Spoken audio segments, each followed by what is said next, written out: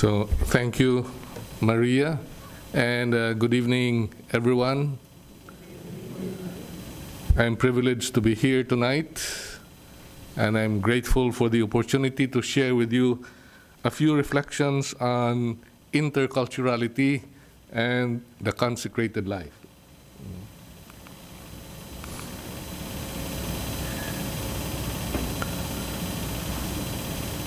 Today, much is being written or said about interculturality, intercultural living, and intercultural communities. And this is particular, particularly true among religious congregations as they search today for intercultural life and mission. And I believe it is clear that central to interculturality is the encounter between the encounter with the culturally other, with the one culturally different from us. And so this evening, I'd like to share a reflection on what I feel is the theological or spiritual significance of interculturality or of our encounter with the culturally other. And this is that our encounter with the culturally other is an invitation to seek the other face of God. This insight comes from Mary Jo Leddy, founder of Romero House in Toronto, a residence for refugees and migrants. She entitles her little book, The Other Face of God When the Stranger Calls Us Home. And so, allow me to begin by summarizing the main points of her book.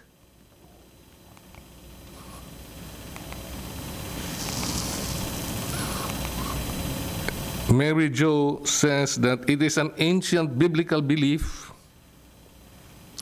which the Hebrew people constantly recalled that God is not like us. God is always more than our thought of God more than what we make of God. Again and again, the prophets of the Old Testament reminded the people that God is not an idol, the work of our hands or imagination. God is always stranger and less familiar than we think.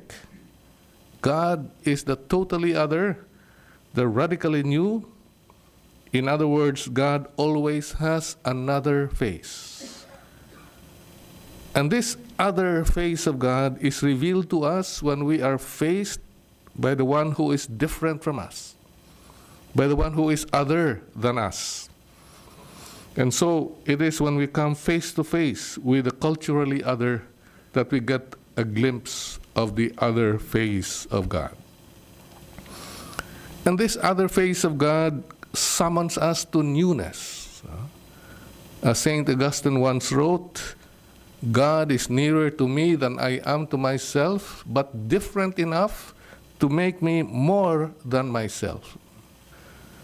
And so the invitation of the culturally other is to reflect on the mystery that draws us from the familiar face of God to the other face of God, which summons us to become more than ourselves, to reflect on the mystery that moves us from our customary experience of God to an encounter with God who is different enough to call us to a different way of being.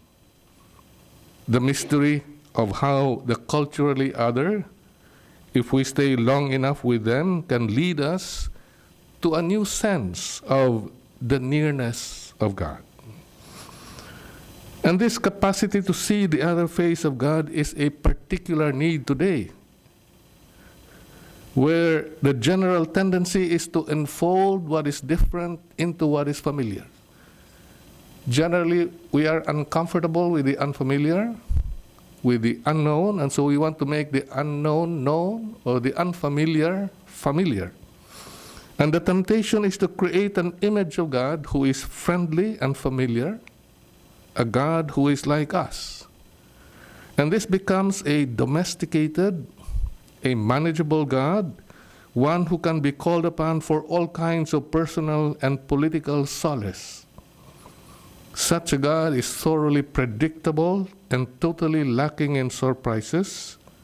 A God who can be called upon to guard us from those who are not like us, to protect us from strangers.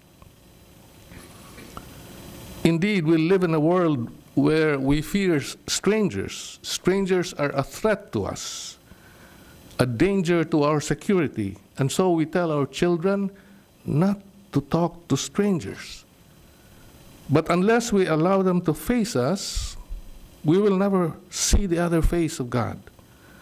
Unless we come face to face with them, we will never experience the about face so necessary for us to hear God's call to a different way of being and God's summons to become more than ourselves.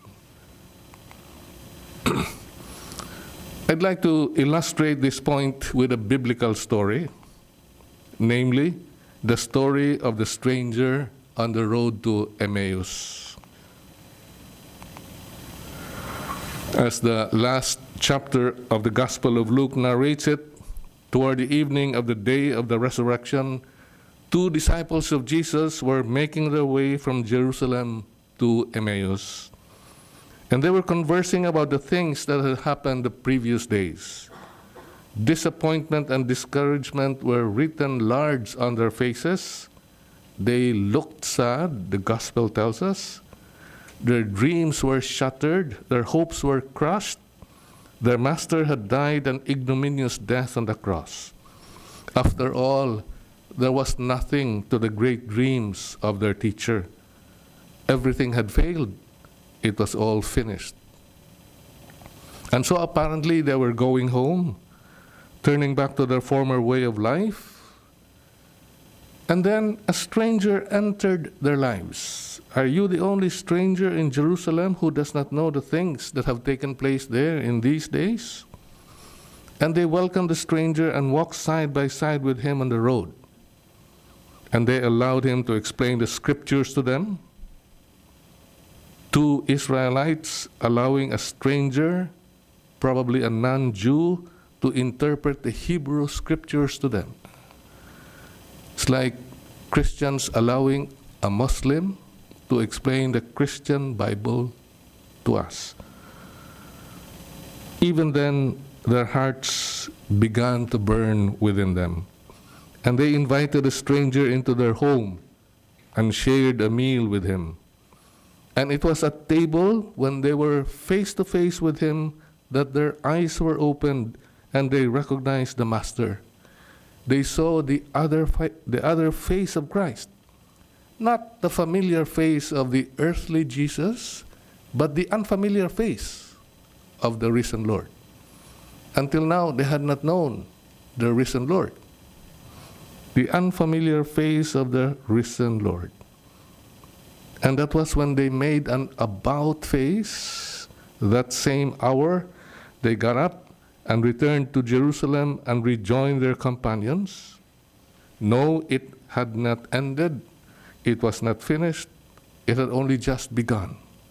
A turnaround from home in Emmaus to mission in Jerusalem, and from Jerusalem to the ends of the earth. And all because they allow themselves to face and be faced by the stranger. All because they accepted to walk side by side a stranger and stayed long enough with him to eventually be face to face with the stranger. This is what the culturally other can do to us. The other can put us into contact with that part of ourselves of reality and of God that we have not experienced before. And so, with a stranger lies surprise, new possibilities.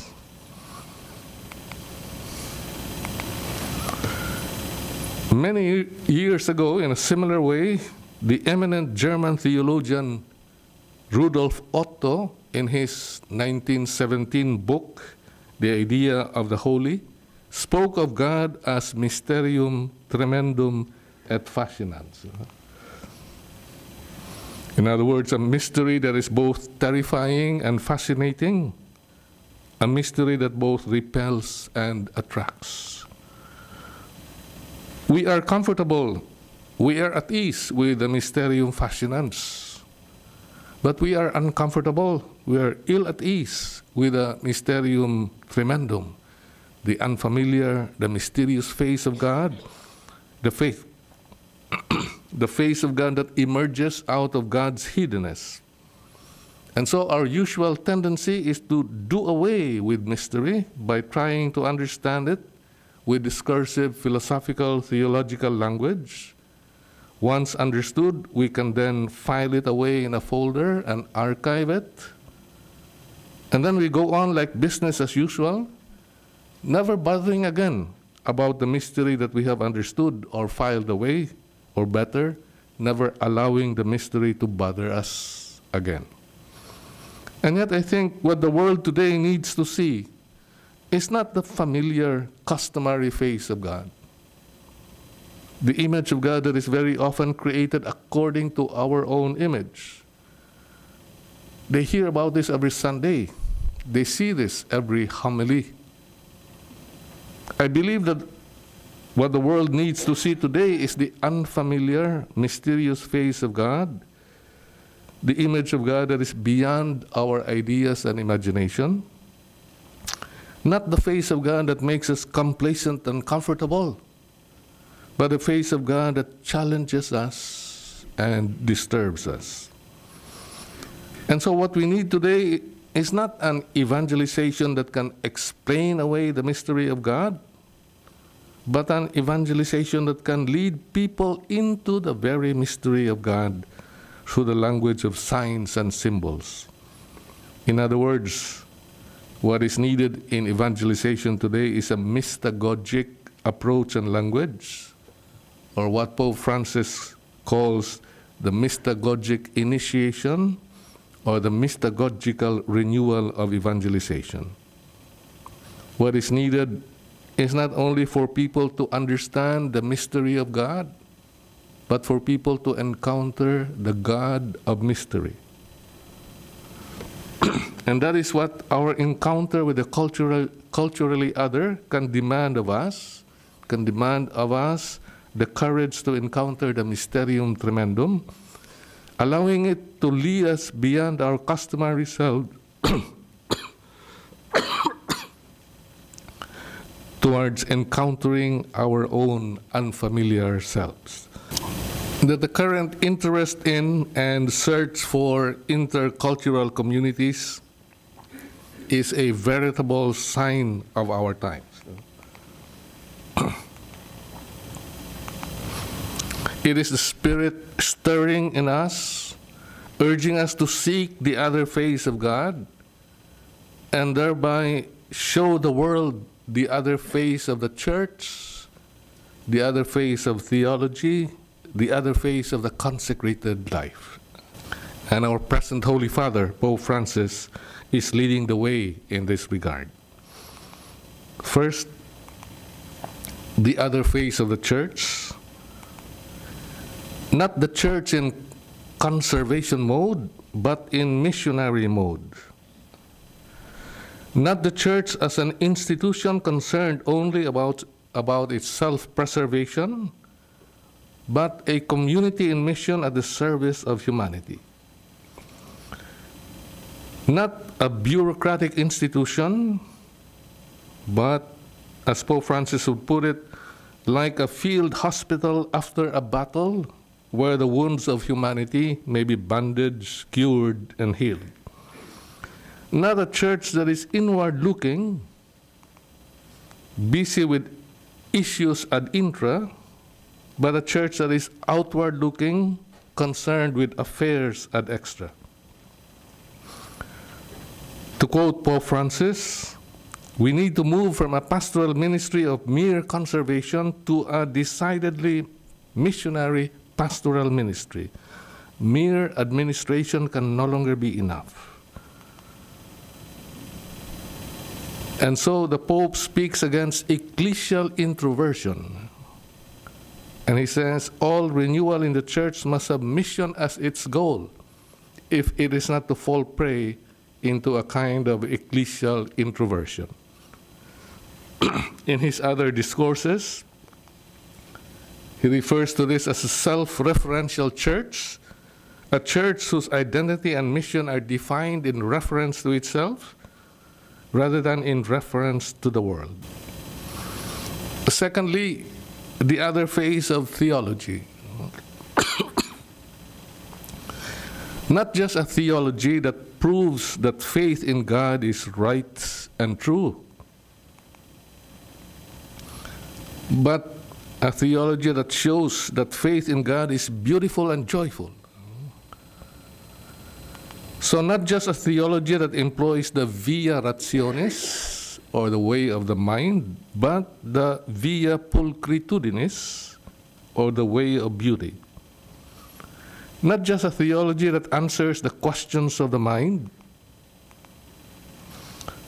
but a theology that responds to the longings of the heart not just a theology that demonstrates the reasonability of faith, that faith is compatible with the demands of reason, but a theology that reveals the beauty of faith, that faith corresponds to the longings of the heart. And so, not just a theology built on faith seeking to understand the mystery of God, but one that arises from faith seeking to experience the God of mystery. So not just credo ut intelligam, but credo ut sensiam. Fides quaerens sensum, not just fides quaerens intellectum. Not just discursive language, the language of rationality, but mystagogic language, the language of mystery. The other phase of theology. and thirdly, the other phase of the consecrated life. Not the consecrated life, which, in the words of Pope Francis, is identified with the practice of religious exercises, but one that is characterized by encounter with others, engagement with the world, and a passion for evangelization. Now, the consecrated life where followers of Jesus are mere disciples, but where followers of Jesus are missionary disciples. Not the comfort and security of the religious house or convent, but the insecurity and discomfort of missionary service. Not the order entailed by monoculturality in consecrated life, but the disorder implied by interculturality in consecrated life. and so, interculturality and consecrated life calls for accentuating its other face on the one hand, sharing intercultural life among a culturally diverse membership is an invitation to seek the other face of God and an opportunity to deepen the mystic dimension of the consecrated life. And on the other hand, sharing intercultural life, intercultural mission among the poor and the marginalized is an invitation to view reality from the peripheries and an opportunity to deepen the prophetic dimension of the consecrated life. the other face of the consecrated life. At this point, allow me to elaborate a little bit more on this other phase of the consecrated life. Some years ago, the German theologian Johannes Baptist Metz spoke about the evangelical counsels as having both a mystic religious and a prophetic political dimension.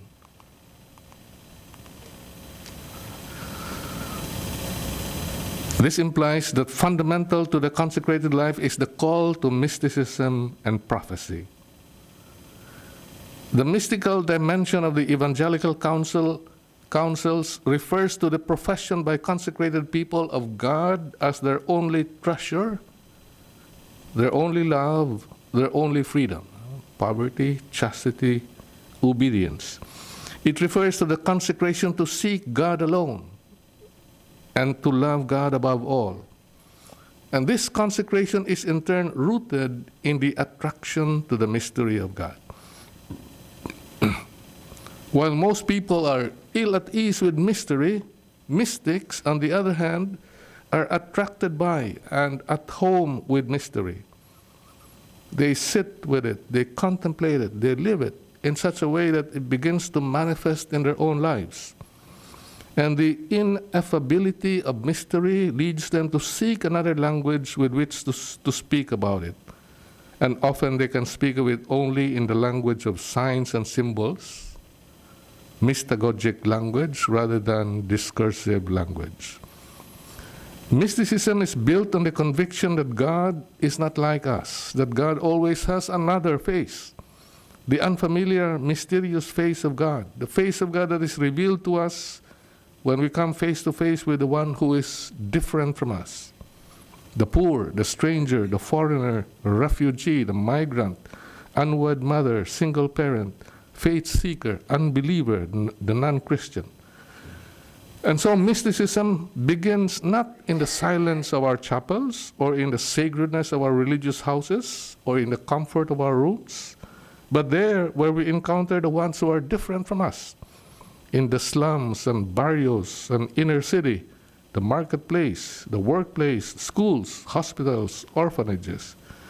And it leads us to the moment of contemplating the mystery of God, gazing at the, the other face of God, encountering the unknown and unfamiliar God. In doing so, we are summoned to newness. We are led out of our customary selves Gazing at God's face, we acquire the heart and the eyes of God so that we begin to gaze at the world with the eyes of God. And when we do so, we see the world differently, we view the world in a new way. Enemies become friends, separating walls become open doors, strangers become brothers or sisters, borders become bridges diversity leads not to differences and conflict, but to harmony and unity. So mysticism, which begins with mission, leads back to mission. On the other hand,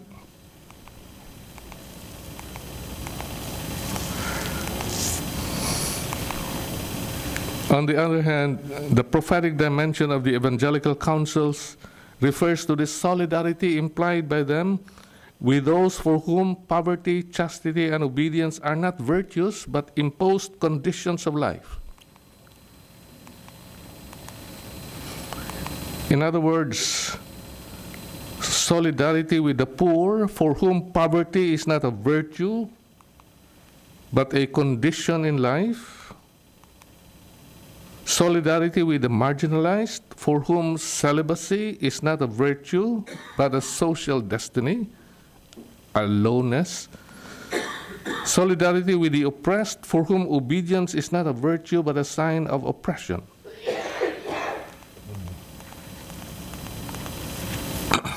As we know, there is a certain unreality to our religious vows, for they are attempts to live in the present the values of the future.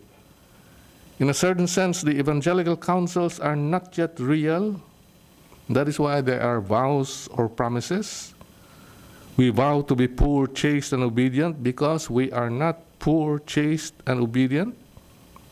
If we were, there would be no need to vow to be poor, chaste, and obedient. But there are those who, by force and not by choice like us, are actually poor, celibate, and obedient. The poor, the marginalized, and the oppressed. And so, one with those for whom poverty, celibacy, and oppression are realities and not just vows or promises, consecrated people can acquire a certain dose of reality in living out the evangelical counsel. To conclude, then, interculturality in consecrated life is a call to the unknown, the unfamiliar, the new, in a certain sense, interculturality preserves the call to newness which the consecrated life is meant to embody. And so interculturality underlines the consecrated life's vocation to mysticism and prophecy, the mysticism of gazing into the unknown, searching the horizon, recognizing even the little signs of God's presence, and the prophecy of pitching our tents at the crossroads of untrodden paths. Keep Watch is the title of a letter of the Congregation for Institutes of Consecrated Life and Societies of Apostolic Life during the year of the consecrated life in 2016.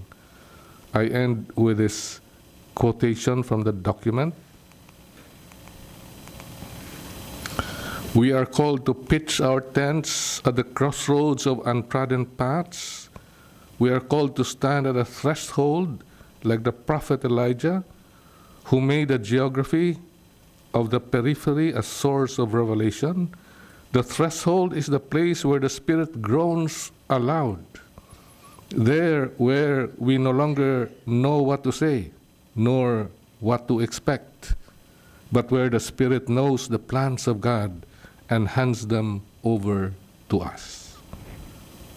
May we, missionary disciples of Jesus, respond boldly and creatively to the plans of God that the Spirit hands on to us at the threshold. Thank you.